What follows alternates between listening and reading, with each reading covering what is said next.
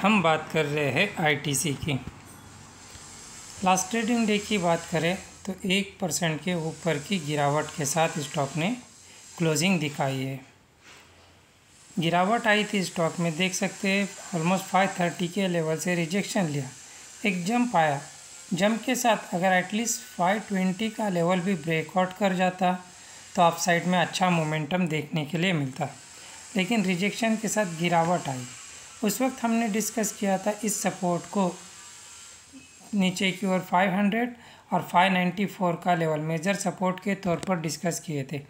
लेकिन ब्रेकडाउन करता नज़र आ रहा है। लगातार सेलिंग हम देख सकते हैं फाइव टेन से जब रिजेक्शन लिया है तो उसके बाद लगातार गिरावट स्टॉक में हमको देखने के लिए मिल रही है। आई टी सी यहाँ से लगातार गिरावट दिखा सकता है, दिखा रहा है और गिरावट इसमें देखने के लिए भी मिल सकती है। अब नीचे की ओर सपोर्ट कहाँ बनेगा? मेजर सपोर्ट, इसको हम थोड़ा सा एनालाइज करने की कोशिश करते हैं। तो चार्ट पैटर्न को अगर हम देखें तो जब स्टॉक में अप ट्रेंड था जंप आया था ऑलमोस्ट वहाँ तक का 505 का, वहाँ से रिजेक्शन लिया था तो 480 के लेवल पर सपोर्ट बना था। 480 के लेवल पर सपोर्ट लिया था, उसके बाद लगातार तेज़ी के साथ 530 तक के टारगेट दिखाए थे। यानी सपोर्ट कहाँ था हमने देख लिया 480 के लेवल पर हमने देखा था सपोर्ट लेते हुए। तो अब यहाँ से देख सकते हैं, नीचे गिरावट आती है तो इमीडिएट सपोर्ट का काम करेगा 485 और इस गिरावट के साथ मेजर सपोर्ट 480 और इसके खेल के पलटने के चांस जो है 480 482 इसी के आसपास से बनेंगे।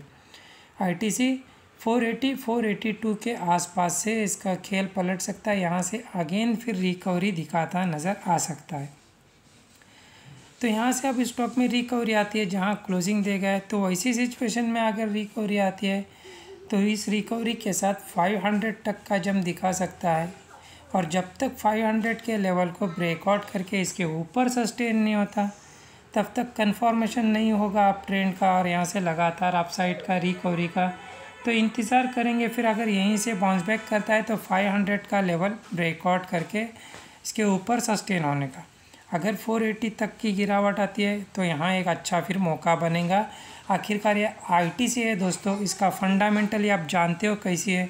जब भी गिरावट आएगी, उस उस गिरावट पे इस पर मौका बनेगा। एक अच्छा मौका बनेगा, या अच्छे रिटर्न्स दे सकता है। आने वाले दिनों में लॉन्ग लॉन्ग टर्म के लिए काफ़ी अच्छा साबित हो सकता है, क्योंकि फंडामेंटली बहुत स्ट्रॉन्ग है। तो 500 इमीडिएट टारगेट है। अगर इस लेवल को ब्रेकआउट कर गया तो नेक्स्ट टारगेट जो रेजिस्टेंस फेस करेगा 510 के लेवल पर।